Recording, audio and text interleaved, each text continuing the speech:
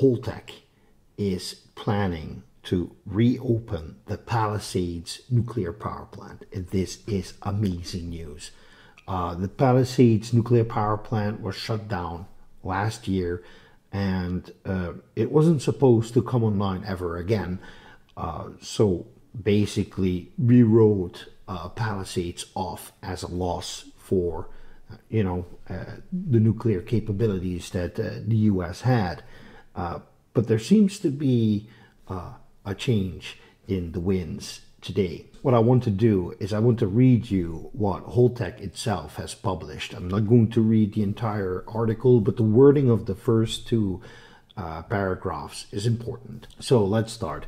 We are pleased to report that the repowering of the 800 megawatt Palisades power plant in Covert Township, Michigan took a giant step forward this week with the signing of a long term power purchase agreement between Holtec's Palisades Energy LLC and Wolverine Power Cooperative. We thank Governor Whitmer, the Michigan legislature, the U.S. Department of Energy, led by Secretary Granholm, and the people of Michigan whose enthusiasm to render Palisades into a bastion of new clean energy generation has encouraged us to launch the Odyssey of Restoring Palisades Energy Generation, says Dr. Kris Singh, CEO of Holtec International. We are well aware that although we see no real obstacles ahead, repowering of a dormant nuclear power plant such as Palisades would be a feat that has never been achieved before. Hopefully, the Palisades revival would encourage our allies, Germany and Japan, who have many dormant nuclear power plants, to adopt a similar course. I share this optimism as well. Um, I think that for Germany, there is still a small chance. They have six reactors. Uh, I believe that there's one still running at this moment, but in the end, there will be six reactors that have been shut down uh, by the German government. Uh, all told, it's it's around eight gigawatts of capacity uh, that we stand to lose in Europe, thanks to you know the anti-nuclear uh, sentiments of uh, some of the German uh, people. Um, but if we want to restart those we're really short for time because uh, the current government, which does not want to restart the nuclear power plants, is going to uh, stay in power if everything goes well until November 2025. So that's another two years. Um, and in the meanwhile, a lot of damage can be done to these nuclear reactors that may render restarting them uh, impossible.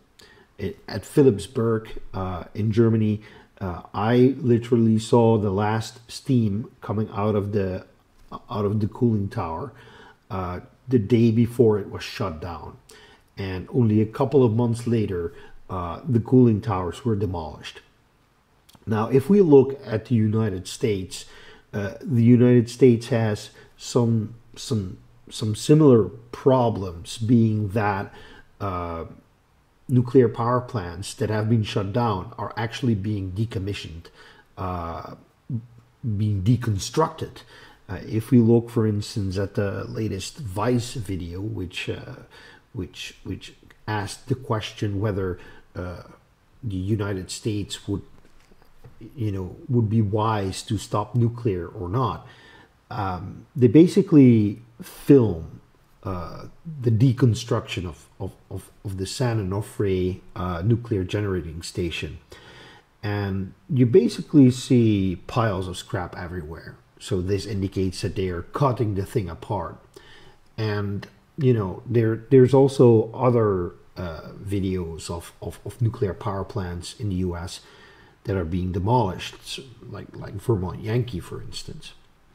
Now, if we look at the nuclear power plants that were closed most recently, uh, except for Palisades, which is 800 megawatts, um, we see that there's maybe six uh, nuclear power plants that may be saved from the cutting, you know, cutting tools. So Indian Point 2 was shut down April 30th, uh, 2020 and Indian Point 3 was shut down April 30th, 2021.